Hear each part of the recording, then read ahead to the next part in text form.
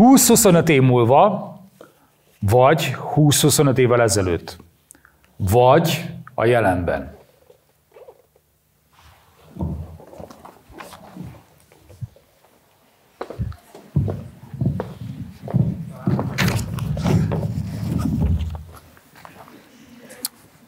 Szép, gyönyörű, virágzó párkapcsolat.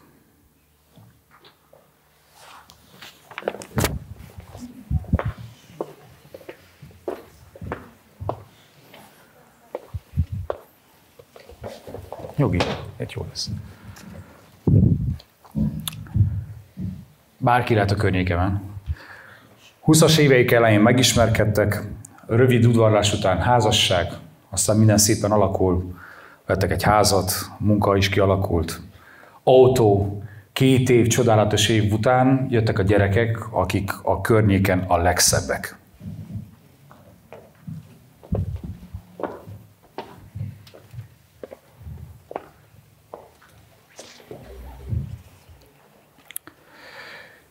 Évek óta önmegtartóztatom magam, és semmi, és senki nincs kilátásban.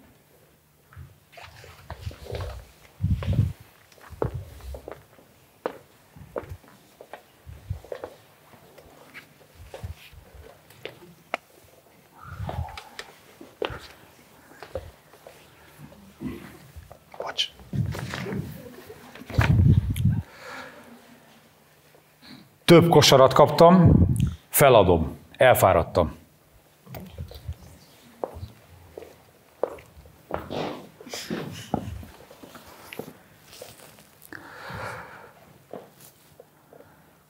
Csak olyanok közelednek felém, akiktől a hideg ráz.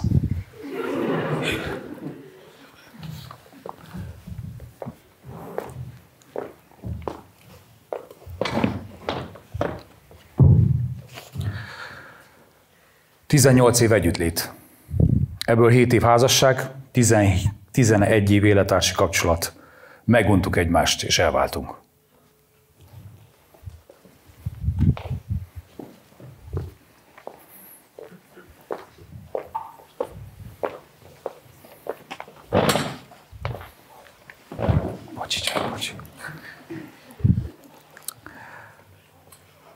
Már 30, 30 is elmúltam, amikor végre megtaláltam életem párját, boldogok vagyunk, mindketten elmúltunk 30 nyilván, amikor megtaláltuk egymást, és azt mondjuk, hogy megérte várni, és csodálatos volt várni.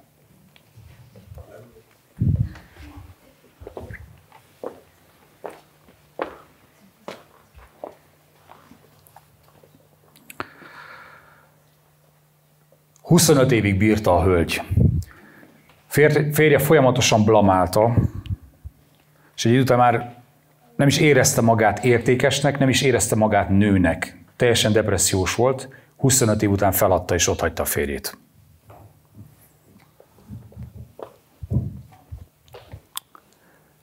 Néhány év után, néhány házassági év után életem legnagyobb kudarcát éltem meg a vállásban.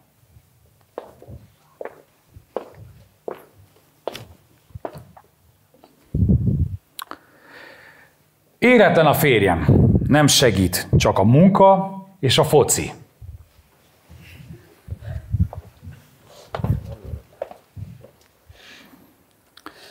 Meguntam a feleségem. Nem ad magára, csak házvezetőnek jó.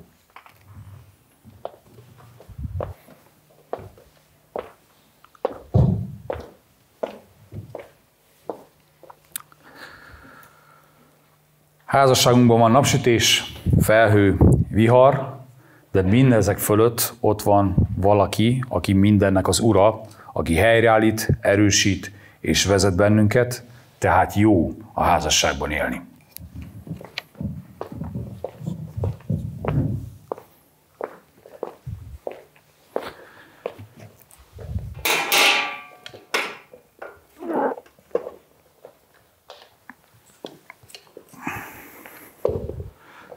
Sziasztok! Nagy szeretettel köszöntelek titeket az újdonsult sorozatunkban, amit elkezdünk. Legutóbb ezzel a tematikával 2018-ban foglalkoztunk, számomra is hihetetlen volt, én azt hittem legalább, vagy két-három éve foglalkoztunk ezzel.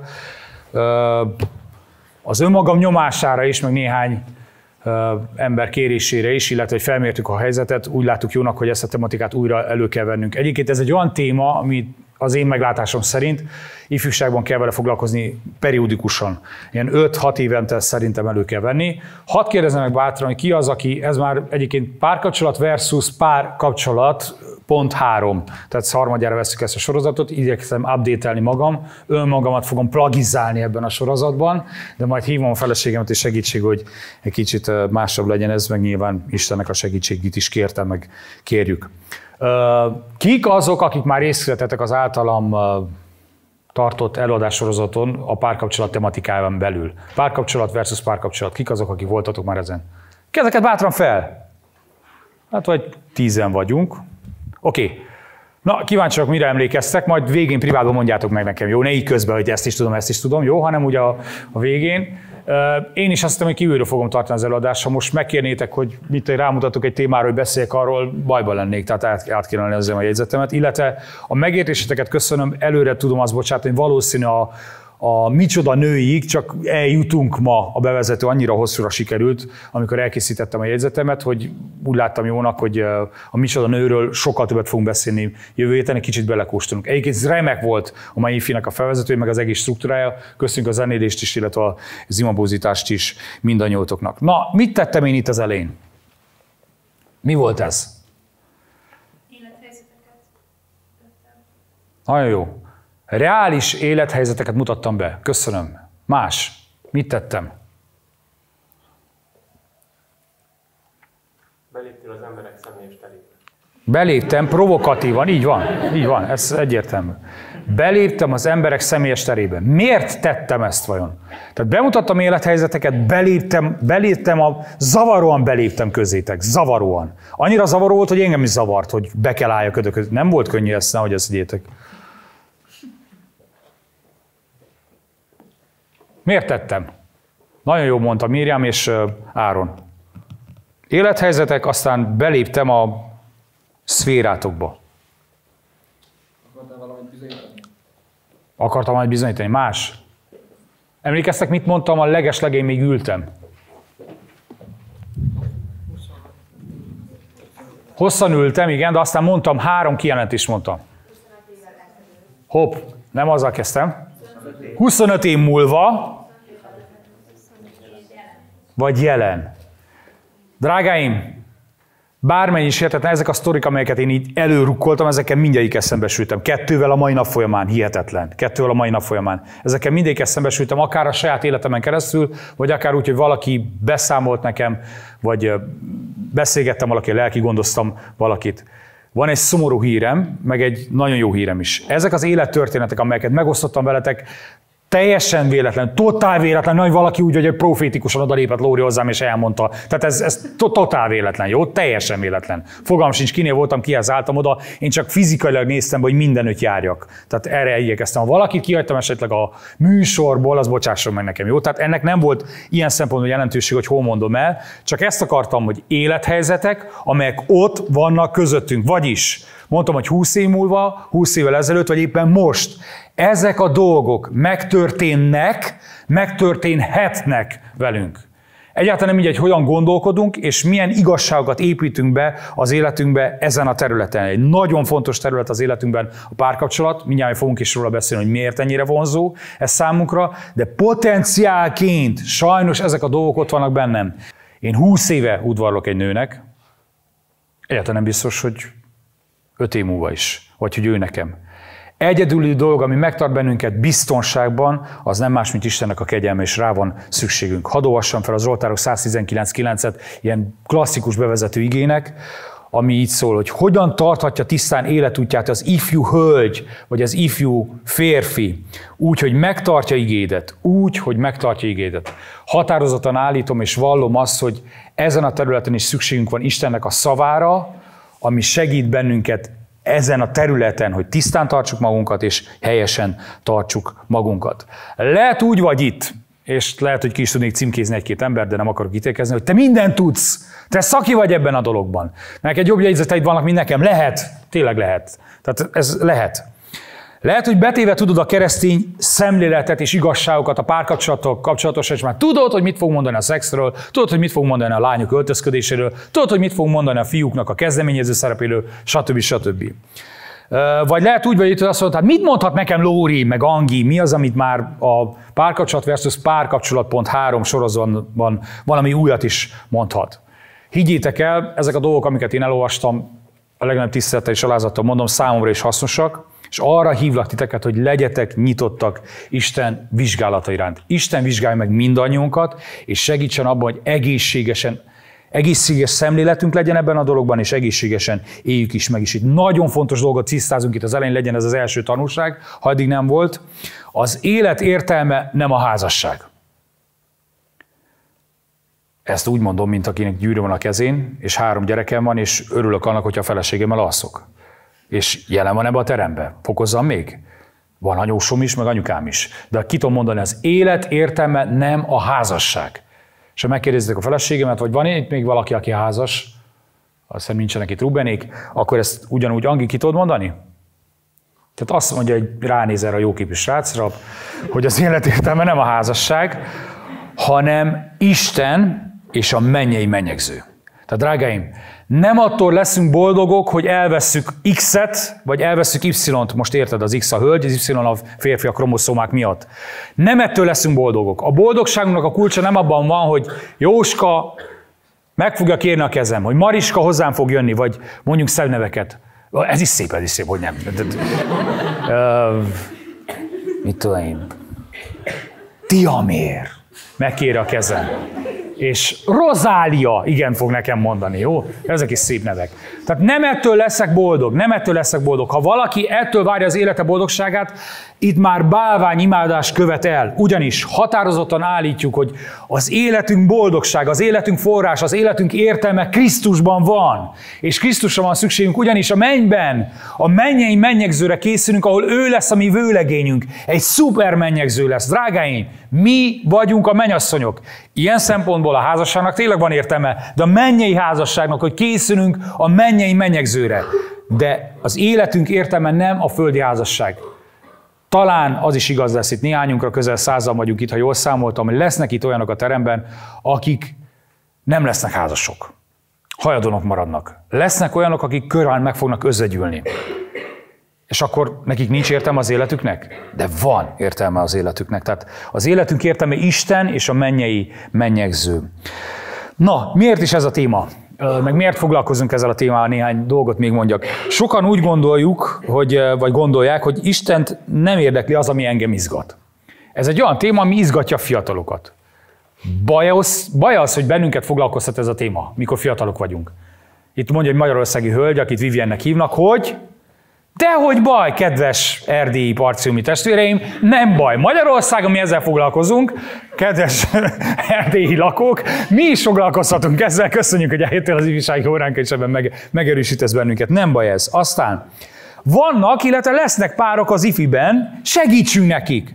Tehát kár lenne arra foglalkozni két múlva, három múlva, négy múlva, néhány hónap múlva, hogy ő is elsiklott, ő is elsiklott, ő is elsiklott, ő is megégette magát, ő is elkövetett valamit, amit nem kellett volna elkövessen. Meg kell előznünk a bajt, meg kell előznünk a hibákat, amit csak tudunk, de nem, minden nem fogunk tudni. Aztán szeretnénk egészséges kapcsolatokat, illetve egészséges házasságoknak a kibontakozását látni az ifjúságunkban, vagy az ifjúsági tagok által, mert lehet, hogy te egy szatmári hölgyet veszel el, vagy kémeremész feleségű, vagy tudom is én, érted? Tehát nem biztos, hogy ifjúságon belül lesznek házasságok. A témáink, amelyeket át fogunk venni, majd kicsit bevezető lesz, egy kicsit belekóstolunk. A micsoda nővel fogunk foglalkozni, Angi segítségével, meg egy kicsit belepiszkálok én is jövő héten. A nőknek a csodálatos világáról, kikutathatlan világáról is wow, hogy mitől az a nő az nő. Hihetetlen. Lesznek olyan részekben, ahol sírunk, lesznek, ahol nevetünk. Nem árulom, hogy ki fog sírni, és ki fog nevetni. De lesz ilyen is, olyan is.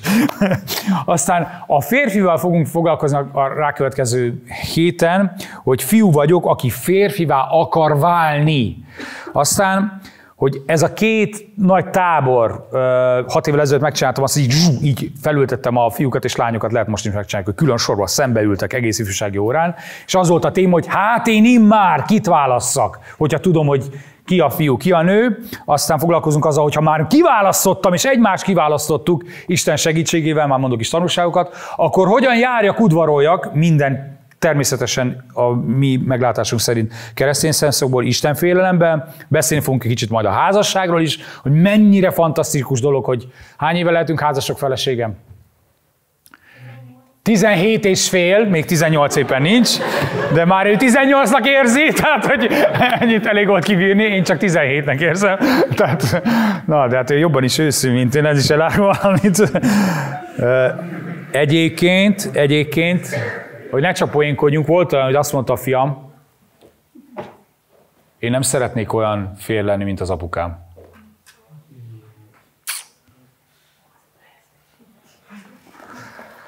Aztán beszélni fogunk a funkcionális különbségekre, ami vannak a nemek között. Nagyon fontos tisztelni, és ha erőnk lesz, meg a korosztályt meg tudjuk jól szűrni, akkor kimondottan a szexnek a fogalmával fogunk egy kicsit foglalkozni és beszélgetni majd az záró részben. Meglátjuk, hogy haladunk, néha meg fogjuk ezeket szakítani különböző eladások, hogy tudjunk felsziszenni, meg megélni ezeket a dolgokat, meg alkalmazni.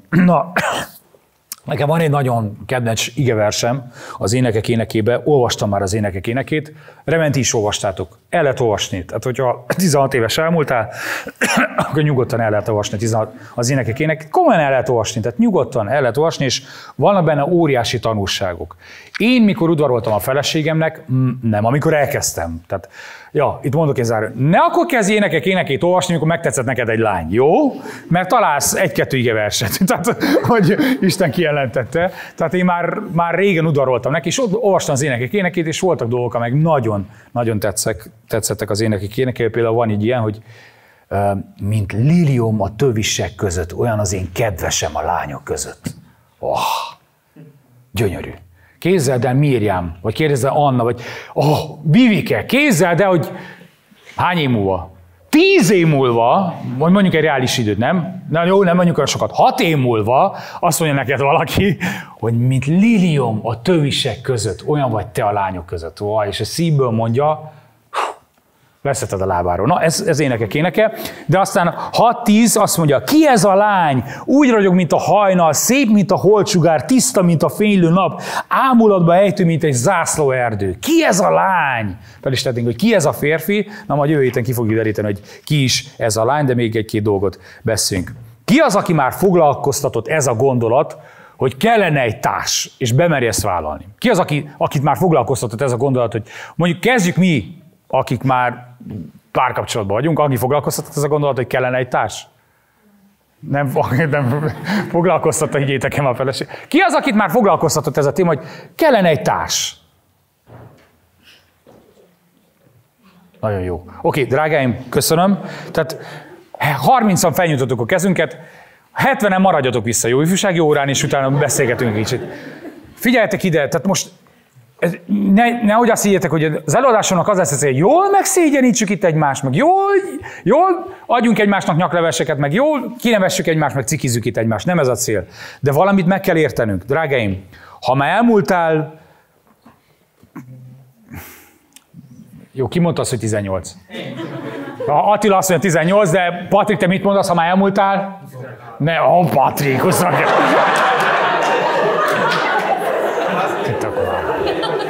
Boti, Boti, mondj te igazat, mert ha már elmúltál...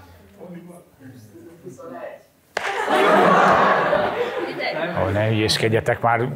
16. Drága tinik, nektek címzem ezt a kérdést, nem akartam elárulni. Ha már elmúltál, Jente mondta ki, ha elmúltál, ha már elmúltál, hány? Oké, okay, oké, okay, akkor most, most álljunk meg, újra fel fogom tenni ezt a kérdést. Ahhoz, hogy egyről a kettőre jussunk ebben a tematikában, nem az szükséges, hogy Lóri végig stand. Biztos fogok poénokat elmondani, biztos fogok olyan dolgokat elmondani, amit a feleségem nem mondana el a házasságunkból, és nem, nem mindig lesz itt. De ha nem leszünk őszinték, elsősorban önmagunkkal, aztán Istennel és a közösséggel, akkor nem hiszem, hogy sokat fog használni nekünk ez az előadás sorozat. Jó, tehát azt a kérdést tettem fel, hogy hány éves kortól kell bennünket foglalkoztass? Ki az, hány éves kortól kell foglalkoztasson bennünket? Hány éves kell legyél? Mondhatok 22, mondhatok 18? 17.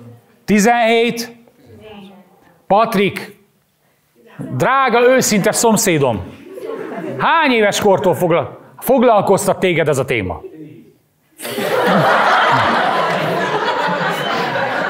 Aki válaszolott, az nem más, mint a fiam. És én azt akarom mondani, azért, mert van nekem egy fura apukám, aki már... Akivel néhány évvel ezelőtt átbeszéltünk egész érdekes könyveket.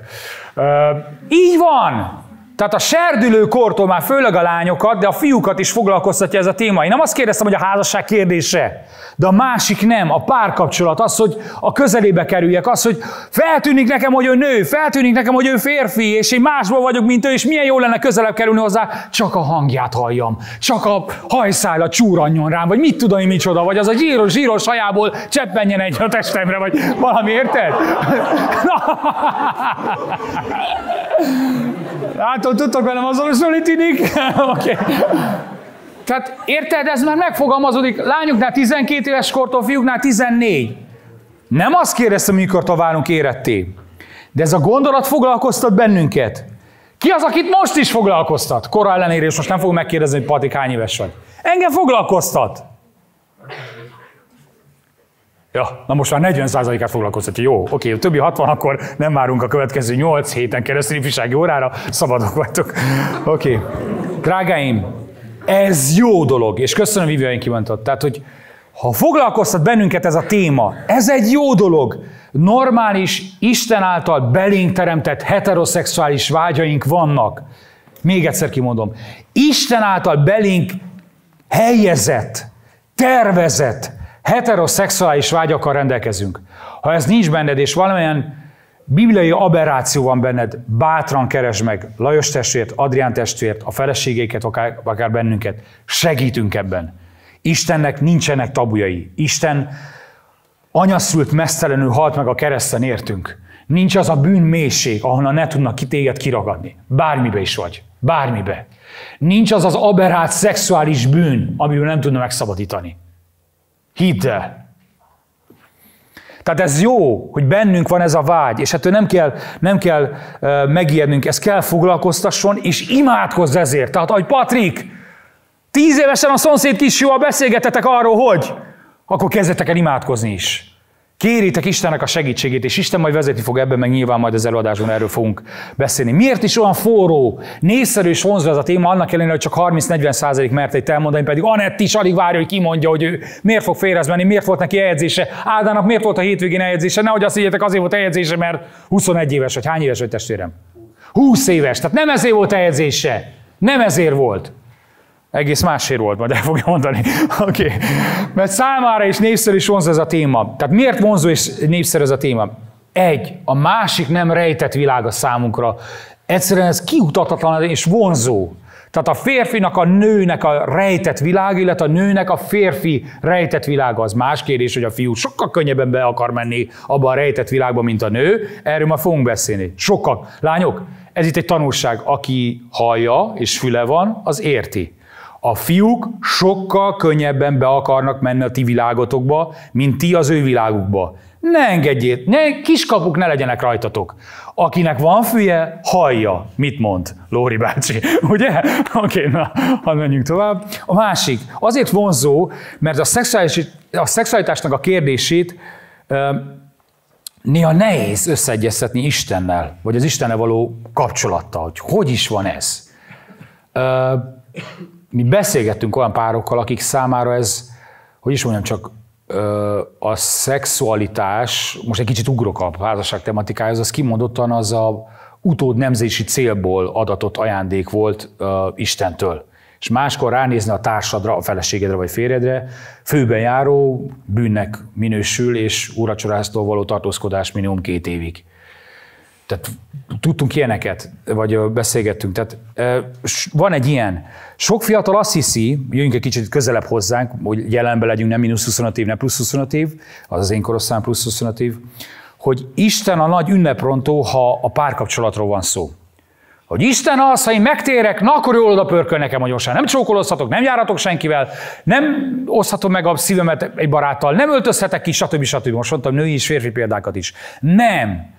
Tehát én 17 éves koromig Isten nélkül éltem, és ugráltam ide, ugráltam oda. Annyi lányal akartam járni, hogy jaj, csak az úrnak az adatbázisával van meg, milyen jó. És mikor megtértem, hogy megismertem Krisztusom olyan kicsit magyarabbul, és átváltoztatta a gondolkodásomat, akkor azt mondta, hogy helyére került is az életem, hogy ez egy szuper dolog, hogy ez, ez tényleg sokkal jobb, mint az én fantáziám, meg, meg, meg az én vágyaim, amelyeket mondjuk megélek 14, 15, 16 évesen, vagy 22 évesen akár. Ültes magad ebbe a, abba a helyzetben, amikor még nem ismerted Istent. Ez egy színjáték, ahol a szerepünket már előadás előtt meg kell tanuljuk.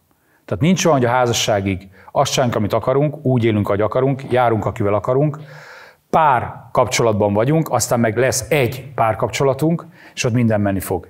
Előtte kell megtanuljuk a játékot. Nem a szexualitásra gondolok itt, tehát senki ne értse félre a szavaimat, erről majd külön fogunk beszélni. Előtte kell megtanulnunk. Képzeljük a következő esetet, ebben nagyon bele tudtuk mászni hat évvel ezelőtt, kíváncsi vagyok, hogy ez, ez hogyan csapódik le most, itt ismétlem magam, majd kíváncsi vagyok, hogy emlékeztek -e erre. Uh, valamilyen csoda folytán, de vagy rendezett dolog folytán az egyes csoport megrendezte, ugyanis már az egyes csoport volt, szolgálatba, hogy a fiúk hamarabb érkeztek az ifjúsági órára. Képzeljétek el, hogy az összes fiú van itt 35 fiú, úgy, úgy látom, többen vannak a lányok. Na, mondjuk 35-40 fiú megérkezik az ifjúsági órára.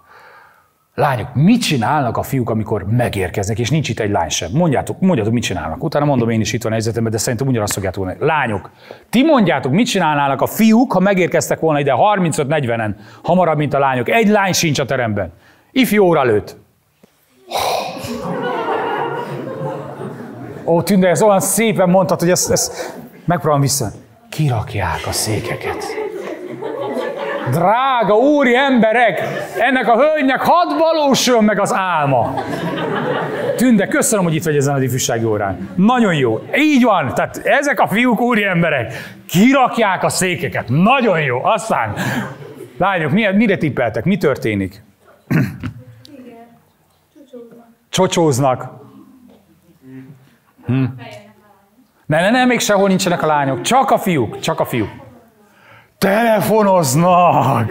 Lányoknak nincs okos telefonja? Nem, nem, nekik csak csipogójuk van. Tehát, oké, okay, más? Jaj, ez, bocsi fiú vagyok, de nem mindent akarok kihangosítani. Mondjuk azt, hogy plegykálnak, oké, okay, más? Ezt ki mondta? Ez Margó! Oj, hogy is mondjam, csak ez öbben aluli volt. Hiányolják a lányokat. Azt te csak hiszed. Na jó. Férfinak érzik magukat, köszönöm. Anett, mond valamit. Oké. Na, lefordítva, amit mondhatok te, ti. Tehát valamilyen csoda folytán a fiúk hamarabb érkeznek 35-40-en, mint a lányok. A fiúk jól el vannak, hencegnek, zajosak, csocsóznak, kicsit felületesek, néha gőgösek. Én öt széket raktam le. Láttad? Kirepült a labda. Ha semmi. És akkor mondják, érted, hogy mennyivel mentem meg ilyesmit. Tehát hencegünk. Hajlamosak vagyunk rá. De valami megtöri ezt a bika viadalt. Megjelenik egy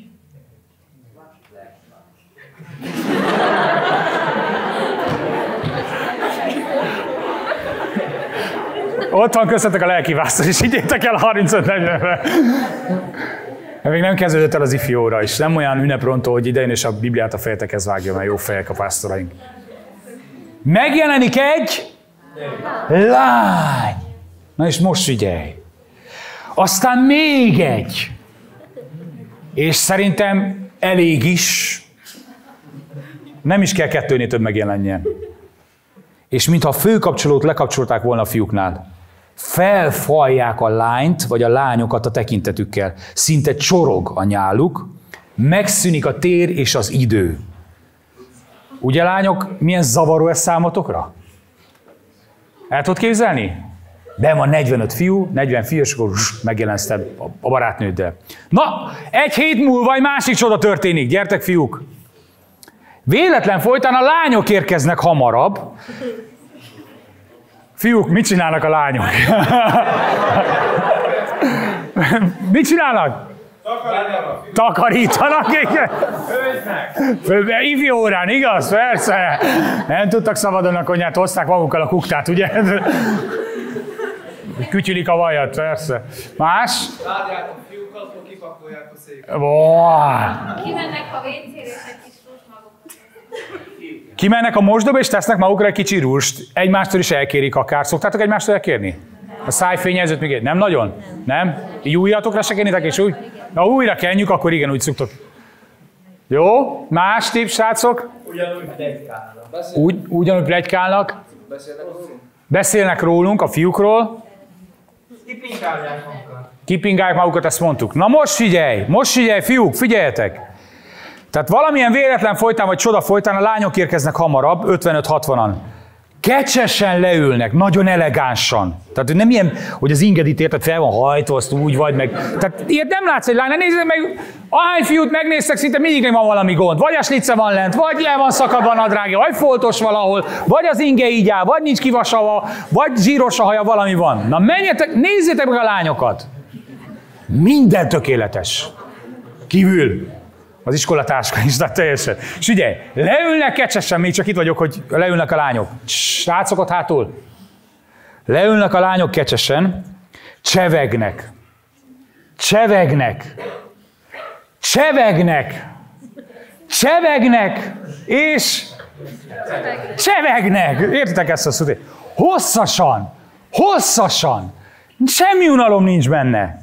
Bonyolult érzelmeik mélységeit megosztják egymással. Puszi, puszi, ölelés, ölelés. Értitek, minden benne. Ez vagy a lányoknál is. Egyszer csak bejön, ki jön?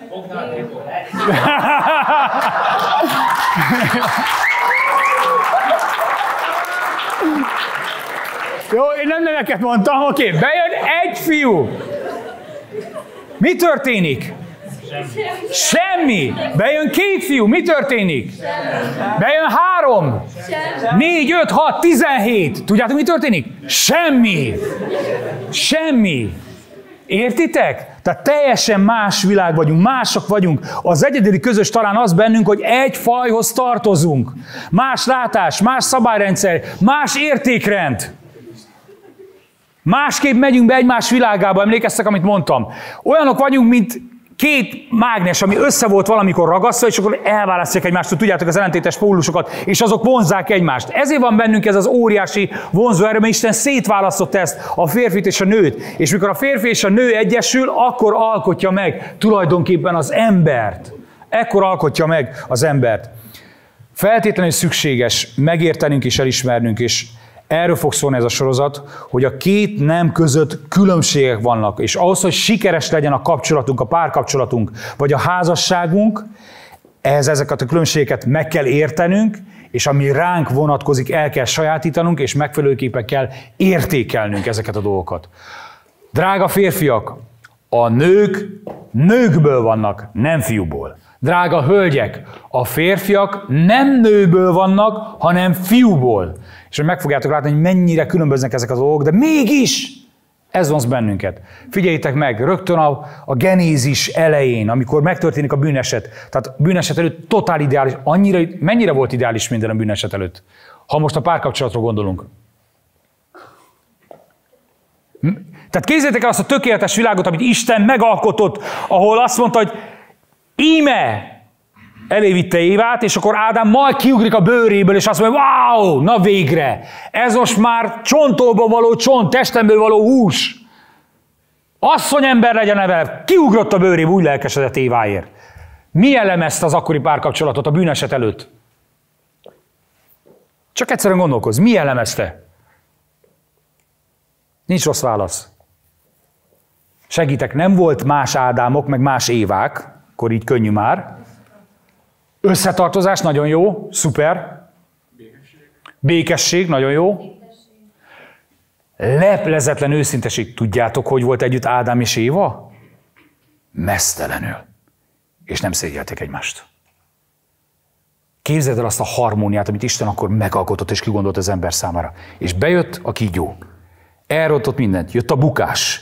Az első reakciója az volt Ádámnak és Évának, hogy eltakarták magukat Már egymással szemben is szégyelték magukat. Aztán elrejtőztek Istentől. Isten keresi őket óriási, hogy bukik az ember, védkezik, valami rosszat beenged a párkapcsolatba, érted? Lehet te is beengedtél valamit, Isten kigondolt neked valamit, de te már rég faleveleket tettél magadra, és Isten keres téged.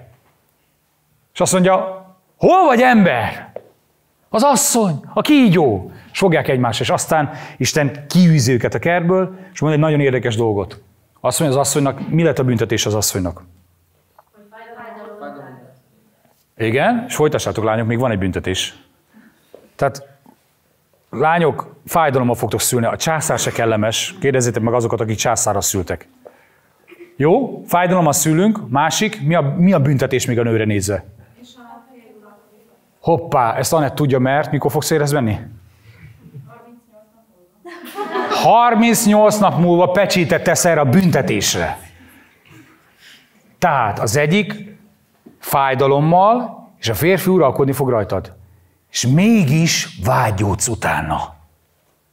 Annyira erős ez a mágnes, hogy annak ellenére, hogy fájdalommal fogok szülni gyerekeket ennek a férfinak, annak ellenére, hogy ő uralkodni fog néha rajta, mert betölti a szerepét, most majd erről fogunk beszélni, ki fogjuk bontani, mégis vágyódunk utána, mégis vonzódunk utána. Sőt, a férfi is vágyódik utána, a férfi is vonzódik utána. Meg kell tanulnunk, hogy értékeljük a másikat, a másiknak a másságát, egyidiségét, azt, amiben különbözik tőlünk. És én erre hívlak titeket, hogy Isten segítsen abban, hogy értékeljük a másik nemhez tartozókat. Aztán majd Isten meg fogja mutatni, hogy mikor kell azt az egy valakit kiemelt módon értékelnem a nő közül, vagy kiemelt módon értékelnem a férfiak közül. Minden, mindenkivel szemben értékelnem, és, és figyelnem rá, meg szeretnem őt. El kell kezdenünk a másikra figyelni önmagunk imádása helyett. És ha hisztek, hanem Anett nem 39 nappal a házasság előtt kezdett el figyelni a másik nemre. El kell kezdenünk már akkortól kezdve, amikor kezdve Isten félelmet gyakorlunk, és azt mondjuk, hogy Urunk, elég volt, hogy eddig én irányítottam az életemet, a vágyaimat, a párkapcsolati vágyaimat, meg annak a, annak a beteljesülését, meg kivitelezését. Itt az idő, te diktálj nekem. Én akarom tiszteletben tartani a másik nemhez tartozókat. Mutasd meg nekem, hogy hogy tehetem ezt, és mit tehetek, és Isten fog ebben vezetni. Honnan is van ez a különbség elsősorban, kicsit már elárultam, a teremtő, teremtétségünkből adódik ez, hogy Isten teljesen másnak formálta a férfit, és teljesen másnak formálta a nőt. Ez a teremtettségünkből adódik, de majd fogunk erről még bővebben beszélni. Melyet feltétlenül élveznünk kellene, mint elvetnünk, vagy idejét múltnak tekintenünk. Brutál, mi van most már a médiában. A hétvégén néztem egy akciófilmet, és belevitték azt, hogy két férfi csókolózik. Tehát most szerintem úgy kell gyártani a médiába kerülő filmeket, hogy valamilyen módon ezeket a dolgokat stimuláljuk, reklámozzuk, elfogadottá tegyük. Mondom még egyszer, a teremtőségünkből adódik a különbség, amelyet élveznünk kellene, mint elvetnünk, vagy idejét múltnak tekintenünk, sokkal inkább aktuálisnak tekintenünk. Lawrence Kreb mondja a következőket, a jó kapcsolatok megértéséhez a tökéletes kapcsolat egyetlen példájára Istenre kell néznünk. A jó kapcsolatok megértéséhez a tökéletes kapcsolat egyetlen példájára Istenre kell néznünk, és neki kell kérjük a segítségünket. Amen.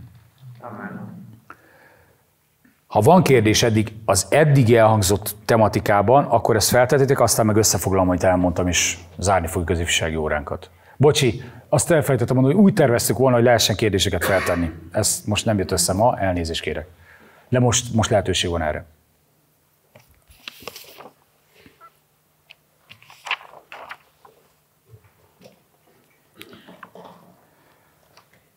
Nagyon jó! Ez jó kérdés. Erre tudom is a választ. Oké. Okay.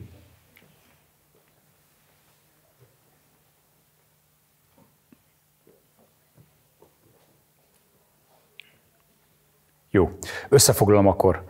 Azzal indítottunk, hogy hogyan tarthatja tisztán életútját az ifjú úgy, hogy megtartja igédet. Aztán beszéltünk arról, hogy örömünkre, vagy gyászunkra potenciálisan bennünk, vannak azok az életesemények, amelyeket próbáltam bemutatni közöttetek. El kell döntenünk, hogy minek a befolyásának, vagy kinek a befolyásának engedünk, és ez meg fogja határozni a jövőnket, illetve a jelenünket is. Szeretnénk egészséges kapcsolatokat, illetve egészséges házasságunknak a kialakulását a ifjúsági tagjaink között, ezért foglalkozunk ezzel a, a tematikával. Aztán jó, ha foglalkozunk ezzel a dologgal, és ha már foglalkoztat bennünket ez a tematika, hogy párkapcsolat, hogy mi a, mit akar Isten tőlem, rendelte nekem társat, hogyan néz ki jövő, meddig kell várnom, meddig mit kell tennem, akkor el kell kezdeni ezért imádkozni. Tehát imádkozz, hogy Isten vezessen, Isten segítsen, Isten tereljen ebben a, ebben a történetben, ha fogalmazhatok itt. Aztán ez egy színjáték, ahol a szerepünket már az előadás előtt meg kell tanulnunk. Tehát az előadás előtt meg kell tanulnunk, hogyan lehetek Istenfélő férfiú, hogyan lehetek Istenfélő nő, aki megalkothatom majd azzal a nővel, azzal a férfival az emberi egységet, amit Isten elgondolt nekünk. Beszéltünk a végén a másságról, és még sokkal többet fogunk erről majd kifejtett módon beszélni a lányok, illetve fiúk tematikájánál. A legnagyobb tisztelettel és tanulságú szolgáljon egyik vagy másik félnek, attól függ, hogy mi vagy, illetve miről fogunk akkor beszélni. És a végén kihangsúlyoztuk azt, hogy értékeljük a másikat, a másiknak a másságát és egyediségét, és ez sokkal inkább mutatkozom meg abban, hogy a másikra figyelünk, nem pedig önmagunkat imádjuk, és önmagunk körül forgolódunk. És zártuk a Lawrence Krebb idézettel, ahol ő mondja, hogy a jó kapcsolatok megértéséhez szükségünk van arra, aki a kapcsolatokat kitalálta, és aki tökéletes, és ez nem más, mint Isten, és őt kell segítségé hívnunk. Isten segítsen ebben bennünket, drága fiatalok. Egy óriási dolog az, hogy ti itt most eljöttetek közel százan, és titeket az érdekel, hogy mit mond a Biblia, nem pedig az, hogy mit mondanak a különböző közösségi oldalak.